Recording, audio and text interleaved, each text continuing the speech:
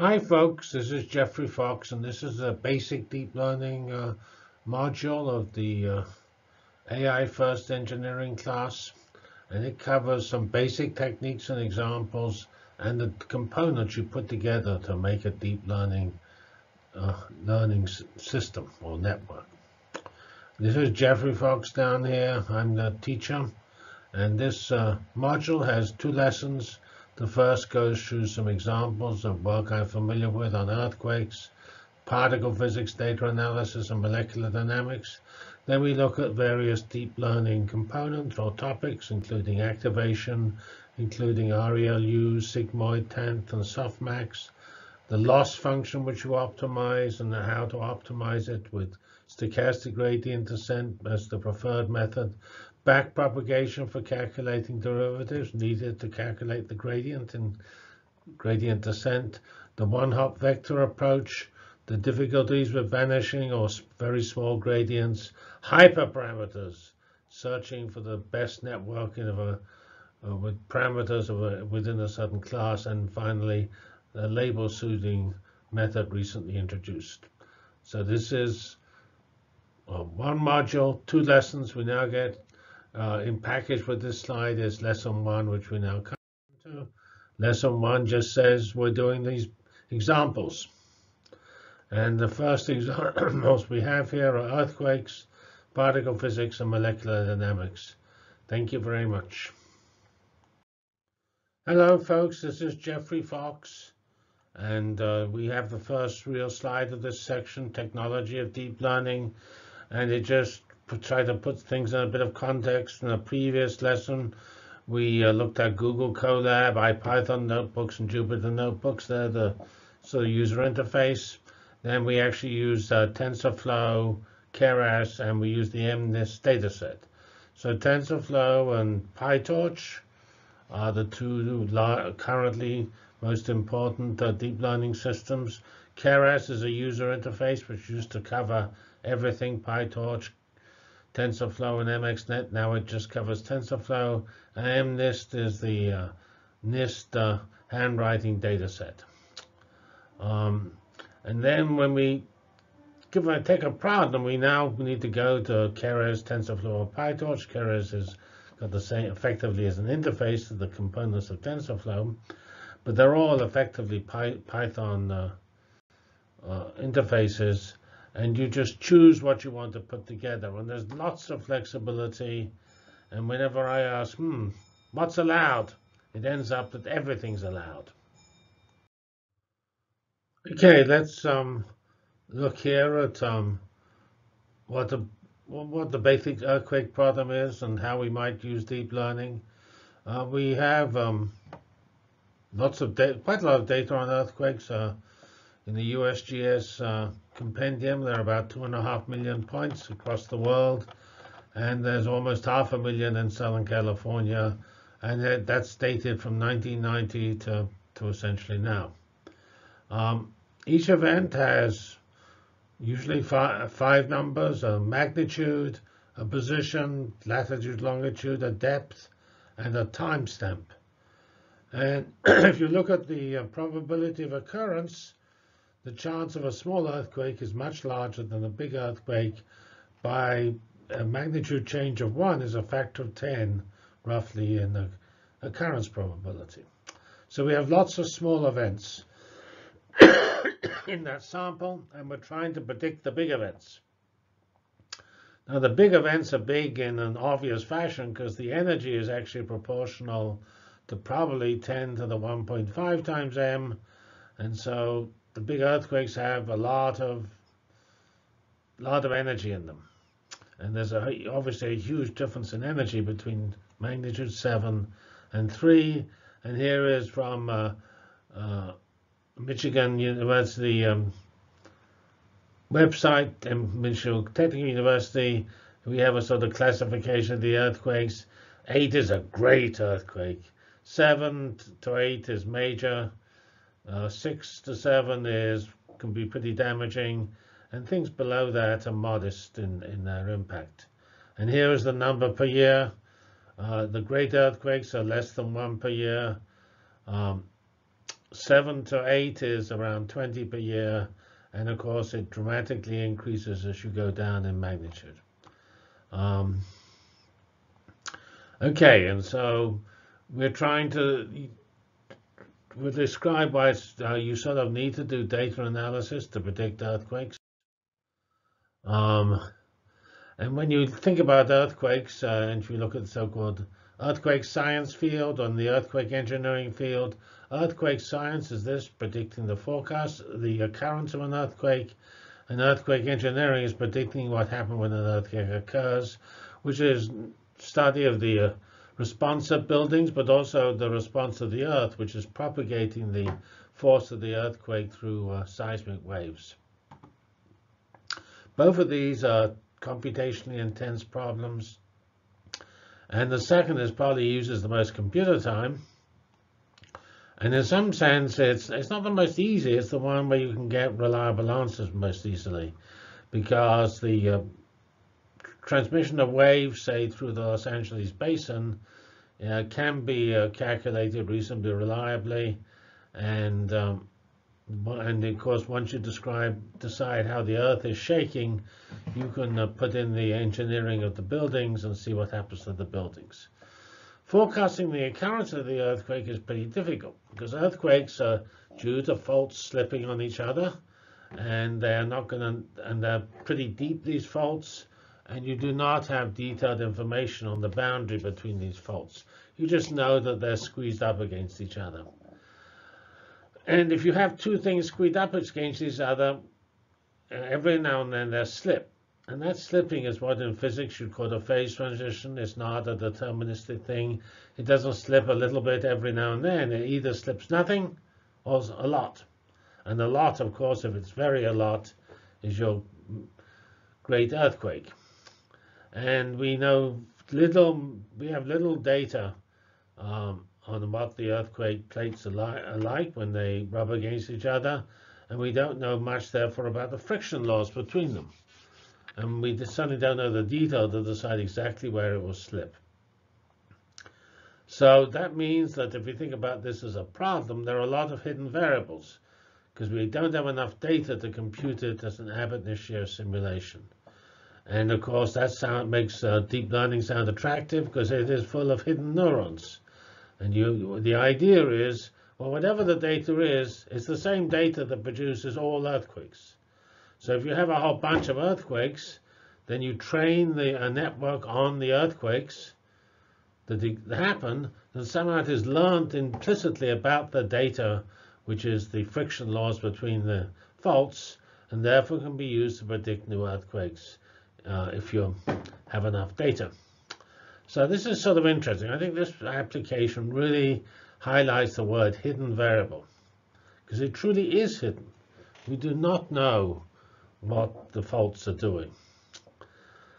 Um, so we can observe the data about the earthquake, namely the shocks, uh, the uh, water uh, gurgling out when there's some about to be an earthquake, or the uh, goats doing whatever goats do, but we don't actually have the physics needed to put in the boundary conditions for a real simulation.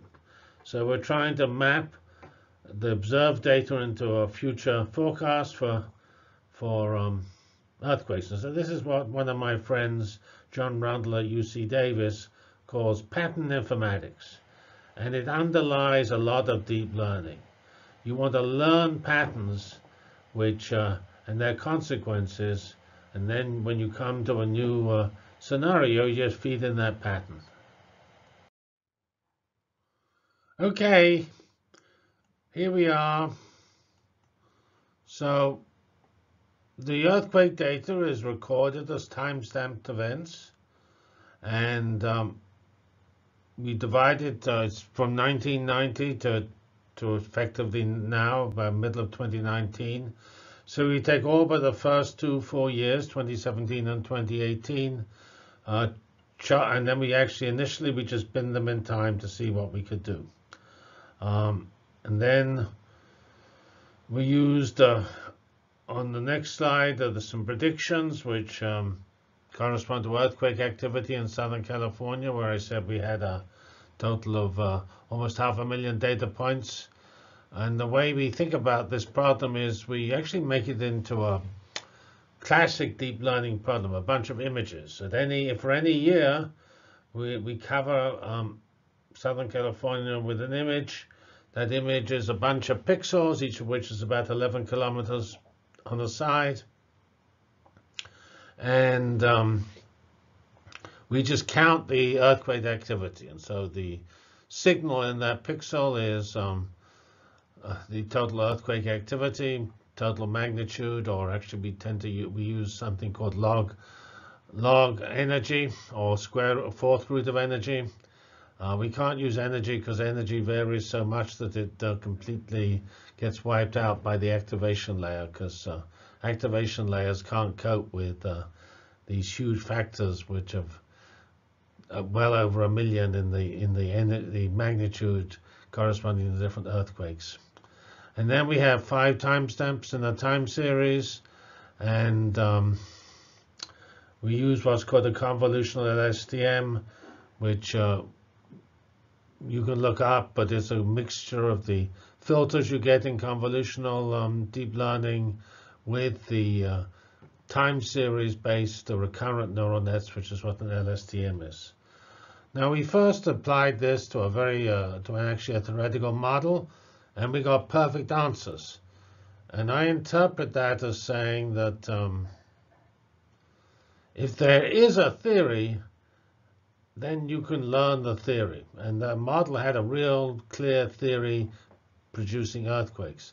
Here is actually, we looked at uh, time uh, time intervals when there was not an earthquake, and here was our prediction. You can see the probability is always essentially zero. Here is the probability when there is an earthquake. In fact, there was one, uh, a few cases when it's a probability almost one, but nearly all the cases are probability one. This is a log plot, so this one here is not so big.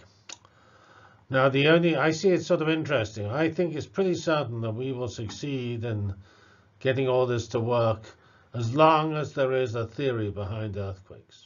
If there's no actual theory, but there's some random nonsense, then it may not work. We'll have to see. Here is sort of the results of the convolutional LSTM. Uh, 0 is 2017, 1 is 2018. Um, this is the uh, prediction. This is the data. These are just the pixels. You can see the squares of the pixels. Each of those uh, squares is one pixel. And uh, we're predicting uh, here the we, we feed in all the data and predict either 2017 or 2018 and you can see that it's not perfect by any means, but uh, there's a um, look at various measures of success, R squared or structural similarity. Uh, these are not too bad. And we also get similar answers whether we use this convolutional LSTM, where the filters are actually mixed up with the time sequencing, or with the convolutional network itself, where you separate them, where you add convolutional network plus an LSTM and that's on this side. So that's sort of similar with the CNN plus LSTM, possibly slightly better. Um, this is the general um, situation. These set of pixels are fed in here. They go through a dense network, fully connected, to, to map them into the variables that we track through the uh, recurrent neural network, which is here where the weight matrix in the recurrent neural network has convolutional filters, and then we train it to predict the next year's earthquake. So that's one example. Here is another example from particle physics in the um, Large Hadron Collider, the ATLAS experiment. Should say, I think I forget whether this is ATLAS or CMS. I think this is these examples. This work comes from the CMS um, collaboration, but I think the event pictures are from Atlas. There are two major um, experiments at the Large Hadron Collider. Uh, they're actually very different, but they, to an outsider, they look the same because they try to do everything. These are, when you design these uh, interesting experiments, you really wanted to do a great job because you weren't certain what you were looking for. So you detect uh, charged particles, neutral particles, and so on. uh, because the particles of interest, Higgs bosons, W bosons, they decay into interest in interesting fashions. They either decay into jets. This is a jet. It's a huge amount of closely particles close to each other heading in a single direction. And here is two jets, because we had two quarks produced. Here we had one quark or one gluon produced. Here we have three jets corresponding to a, a weak boson and a quark produced. And what we measure in the apparatus is actually how much energy is flowing in each direction. So you can see here, here is a huge amount of energy flowing out of the event. The protons are colliding here. then normally all the energy just follows the original protons. Every now and then you have a so-called hard scattering where you produce these nifty, very high mass objects. And if the object is high mass, it's going to decay. It's not going to um, give its energy out into the direction of the protons. It's sitting largely at rest, and it will just spew its energy off to the side. And so the characteristic of interesting events is lots of energy to the side, and you need to be able to try to find an efficient uh, way of detecting that. Uh, a long time ago, uh, I, with um, a famous, much more famous person than me, Stephen Wolfram, who set up Mathematica, came up with the so-called Fox-Wolfram moments, which was a way of taking a average over that energy, which I showed you spurting out in different directions. And these moments were called H sub L. And um, there were Legendre polynomial moments, and these were calculated with the momentum, which at uh, relativistic energies for relativistic systems, which we're working on, is the same as the energy, which I showed in the previous slide.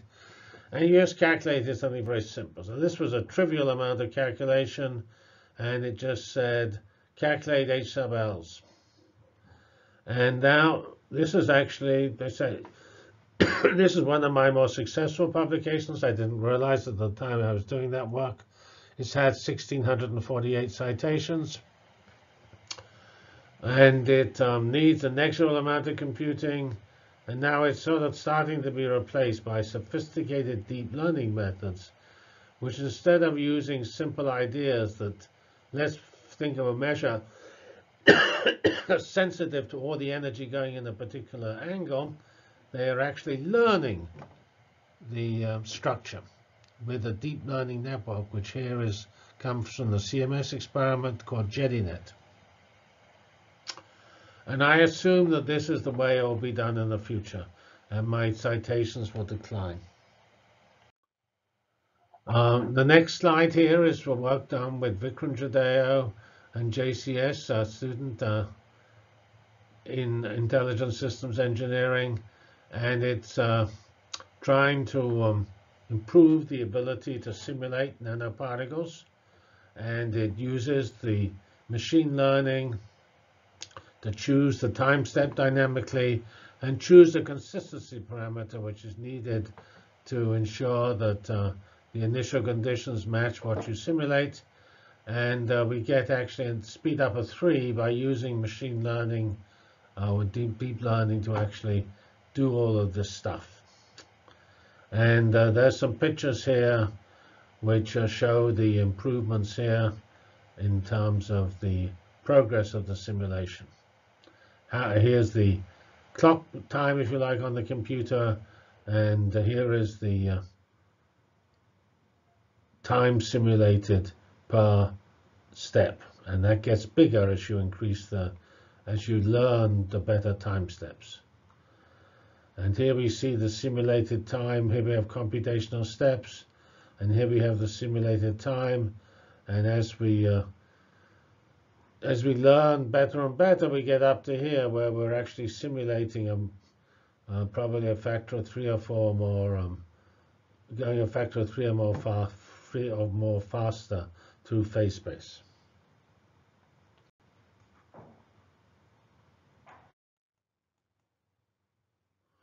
Okay, here we have the next few slides, uh, which we start with some work at Indiana University with JCS and Vikram again. is uh, an important class of um, the use of deep learning to do to actually run simulations. So you have a computer code that calculates something. Here we're calculating structure of uh, nano, nanoparticle systems, the where the ions are and what their density is and things like that. And they're confined in some fashion. So you know how to use the uh, classic molecular dynamics equations involving the forces between the particles and uh, Newton's laws for the particles.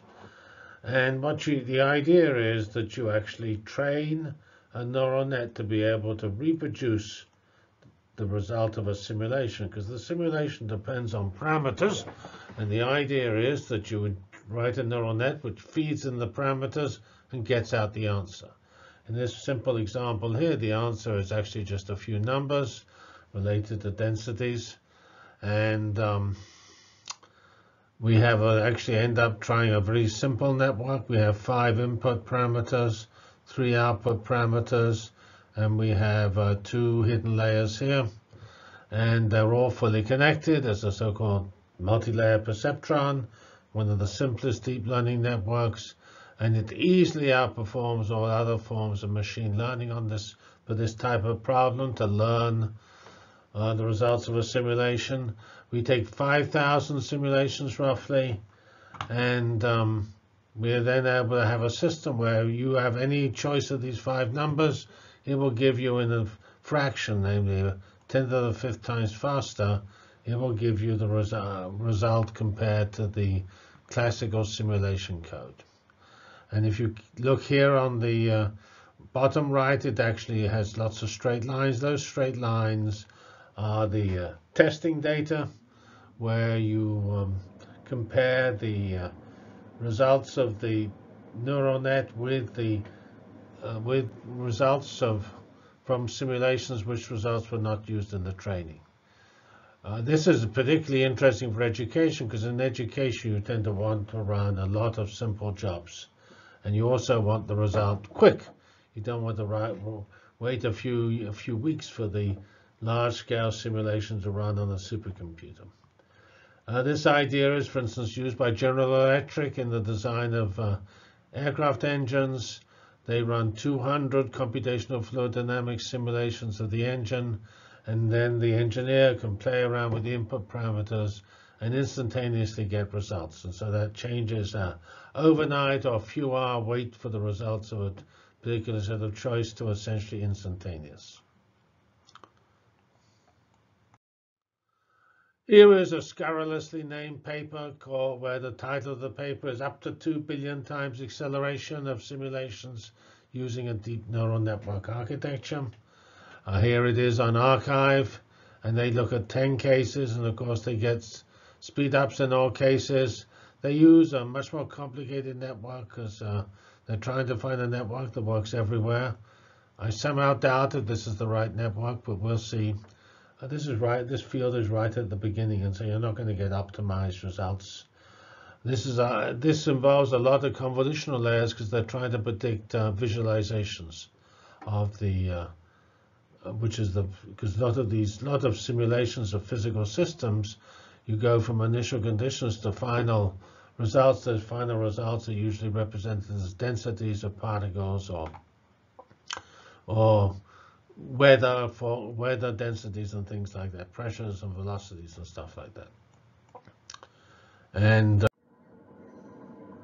I here are some sample results from the 2 billion paper. Uh, they give um, four examples of uh, of uh, the final results which have been predicted. Here is the uh, true example from the climate simulation. Here is the emulated result. It's like maybe the colors. I mean, obviously the colors just change for to make clear what's what. Here is the ocean, and here is the simulation. Here's the ocean um, from the surrogates, and um, obviously they look all look pretty similar. Uh, here is some more simpler but more easy to to judge comparisons. This one is a galaxy simulation, and you can obviously not tell the difference between the simulation and the emulator, which is the, I would call surrogates. This one's a little less um, clean. I'm not quite certain what that means, but clearly the main uh, thrust of this, which is a fusion simulation, the uh, surrogates, uh, uh which um, do reasonably, although notice the scatter is from the surrogates, which is the orange, not the simulator, which is a straight line. So that's sort of surprising. Um, if you look at um, over here, you see the um, the difference between this network called dense, and that's what dense means. That is their that is the network they're so proud of and develop in this paper. And here you have the value of the loss function from uh, which they claim is a manually designed DNN. I'm not quite certain how hard they really tried. I am slightly surprised that uh, you can't do much better than they claim, but um, the orange here is the manually designed DNN, and the blue is the um, non-DNN deep learning case, which um, uh, I'm not surprised that the blue is uh, bigger than 1. 1 means the dense equals whatever you're comparing with. Greater than 1 means that the uh, original, uh, the other method, the manual DNN or the other deep learning is worse because the loss function is bigger. The only case where that's not true is around here, where it's either essentially the same or actually the um, manually designed DNN beats the dense on uh, the so-called JAG scalars, which is actually that one over here, which wasn't so good. Um, that's the fusion simulation. And um, here we have, um, over here you actually have the speed up, and here is the magic 2 billion, which occurs for the climate simulation. And uh, it just decreases, it's non-trivial for all cases and um, we're here, uh, if I look at the work on nanoparticles we did, we were around 10 to the fifth, so we're sort of here.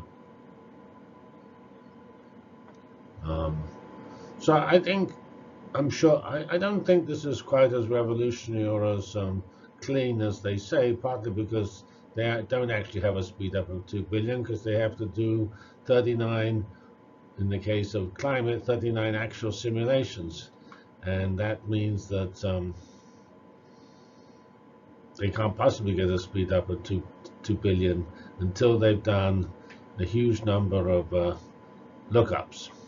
So, in fact, they have to do probably two billion or more lookups uh, to get a that proper speed up. But they will get substantial speed ups once the number of lookups get above 39.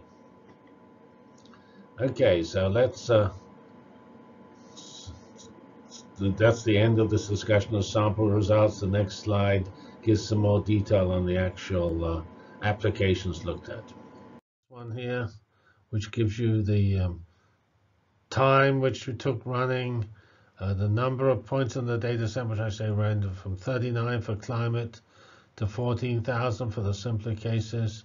This is a listing. You can see there are various pretty wide range of uh, galaxy modeling, ocean, seismic, fusion. So this is a reasonably uh, climate, uh, climate uh with uh, aerosol and, and the model, ocean model simulations, and they all work pretty well. So I would say this is bound to get a lot more attention. Here is uh, the last two slides show a different way of looking at um, simulations with recurrent neural nets. There you are mapping an input to an output, one to one, well, one time slice to the last time slice. Here we're mapping, we're looking at the sequence um, of um, the molecular dynamics equations. They're typically integrated using Newton's laws that the, the, the acceleration equals the force and you just it, iterate that equation called the so-called Verlet method, uh, which just tells you the difference approximation you use to solve this problem. And um, you find the one in, in here we actually compare um, the uh, results. These are four different views of the um, actual real molecular simulation. Here are the same four views of the prediction from the uh, uh, neural net. Sequence neural nets are very important. They're what you use for speech recognition, translation, and problems like that. Convolutional nets, which we used in the previous slide, are what you use for images, uh, things which are not time dependent. Time series like that earthquake and this problem here where we're looking not at learning the final result, but being able to project particles in time, uh, then uh, we're using these recurrent neural nets, uh, which are often you, you the most sophisticated is called a long short-term memory, LSTM. And uh, if you look at these results here, you'll find that um, if you take the uh, Verlet method, uh, here the um, if you take a dt of 0.1, uh, the error is just catastrophic. Here's the error, it goes up to 10 to the 23. Even if you do 0.01, it's um, not very good. And here we have the errors for um, the neural net approach, and it's very much better. Um, okay, here's the last slide, which just gives you the picture of uh, the actual neural net, which you can study in great detail. You'll see there are two layers of LSTMs. That's quite common to have double layers or multiple layers of either recurrent neural nets or convolutional neural nets. You have various um, fully connected networks to map, input, map internal variables to output variables or input variables to to um, to to internal variables. And in this particular case, for the problems we looked at, we got up to about 100,000 or more trainable parameters. And these uh, these things here are the cells, and they're very sophisticated. You really have to spend a long time trying to understand what they want. Perhaps the most interesting thing is to look at the what you have. Here is the input. Here is the output. And here is something very important called the history. The history is what is passed from one time set to the next, and it's how you learn a sequence.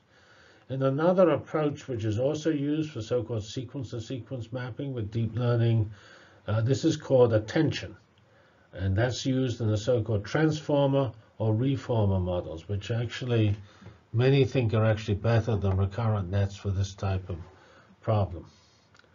So this shows that uh, what we had to do, where the JCS who did this had to decide on the number of layers, which were two for LSTMs, he had to define, decide on the time step, which was five of the, of the time series, and he had to actually decide on the number of replications in this direction. LSTMs feed the same answer to lots of different um, uh, inputs and tries to actually get uh, some advantage statistics because they're initialized differently, but otherwise they're the same. And so they get, you can train there for an average over the results of multiple weight choices. Pretty sophisticated, and I think we're still not being done in an optimal fashion. So this is the end of the part of the course which um, gives you some examples. Uh, we did both recurrent and convolutional, and we um, and uh, both of those are very important. Probably the most spectacular answers have come from, well, both are very important because speech recognition is a spectacular advance from uh, uh, from uh, deep learning. And of course, image processing is hugely impacted by the powerful deep learning algorithms. And those together tell you about recurrent for sequence mapping and convolutional for image. But in the case of the surrogates, which we're effectively using convolutional methods when we're trying to predict images or when we're trying to look at the structure of um, earthquakes, which are images effectively, with local. The reason why you the convolutional networks are good, they enhance local structure. When things nearby are expected to be related, then you want to use a convolutional network. All right, so let's, uh, well, now we finish this lesson and go on to the next lesson.